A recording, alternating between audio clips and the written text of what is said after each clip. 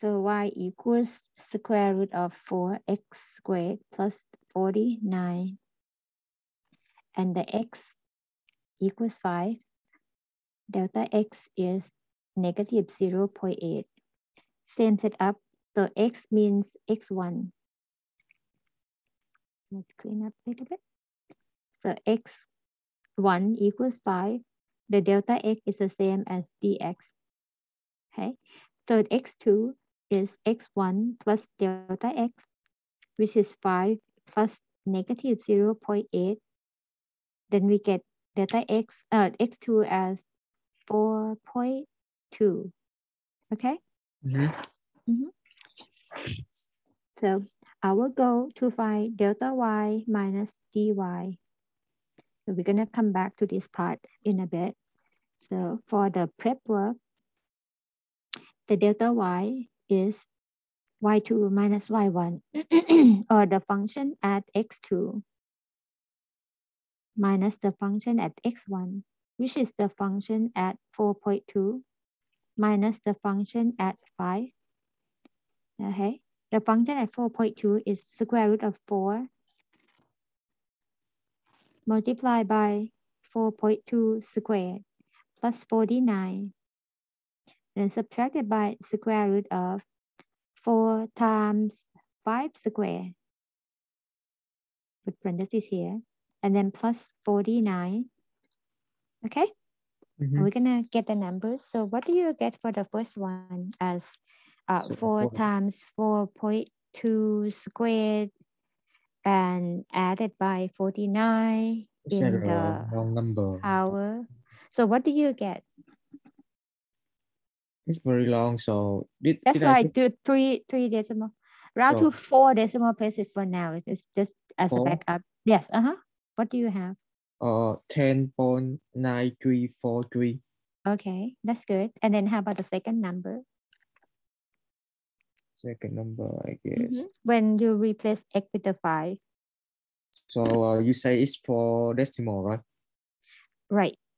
So it's like twelve point two zero six six. Twelve point two zero six six. Uh huh. Yeah. Uh -huh. Okay, and then subtract these two numbers. What do you get?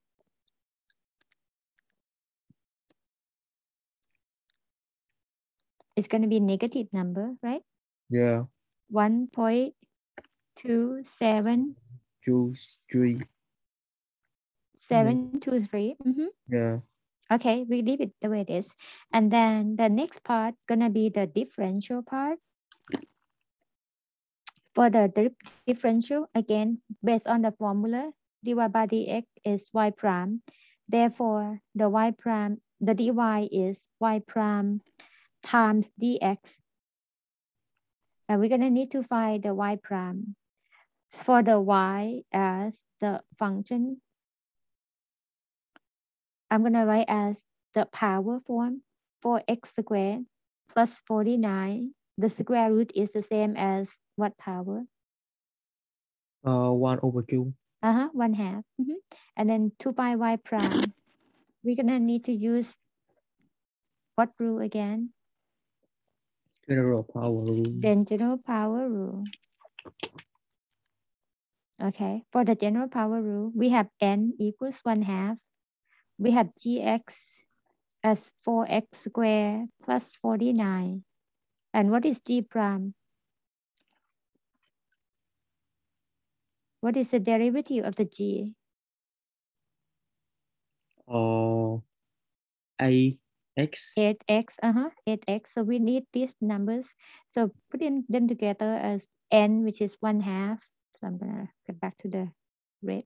So 1 half multiplied by g to the power original subtracted by 1, which is negative 1 over 2, and then multiply by the derivative of the g, which is 8x. Okay? Oh, I forgot to subtract the... Uh, ah, subtract the power by 1. Yeah, I forgot to subtract the power. Uh -huh. And then you can reduce 2 and 8 becomes 4. So the numerator is 4x. Negative power, it can be the reciprocal of the positive power. And the positive power you can write as the square root for our convenience. You see what I'm working on? Mhm. Uh-huh. Now we're going to replace it into the formula for the differential. So then the dy equals the y prime, which is 4x, divided by the square root of 4x squared plus 49. And then multiply by the dx, this is y prime, and the dx is the quantity negative 0.8 as provided by the problem.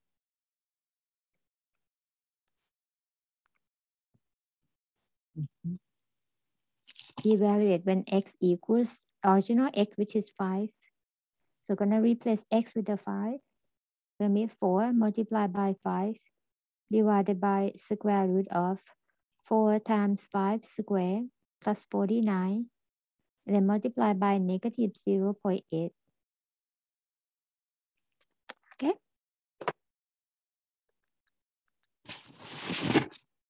So let's work on the numbers.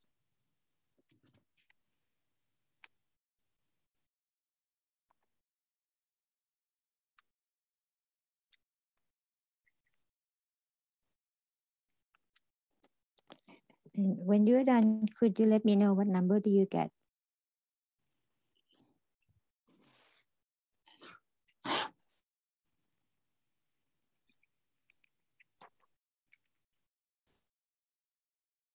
And then we when we're gonna finalize it at the end. So mm-hmm. bring it to the main part of the problem. The delta y is negative 1.2723 and then subtracted by negative 1.3108. Okay. And what do we get? We get um, two, let me see, wrong number here. So we have negative 1.2723 plus 1.3108 and that is uh did we get the right number? So we get 0.0385 that is off a little bit because we allow to four decimal places. So we Yeah. have 0.0385 so if we keep it as decimal i thought we should round it extra and then round at the end later. If this is negative 1.311, so for the three decimal places version, gonna be negative point 1.272 minus negative 1.3 uh, 11.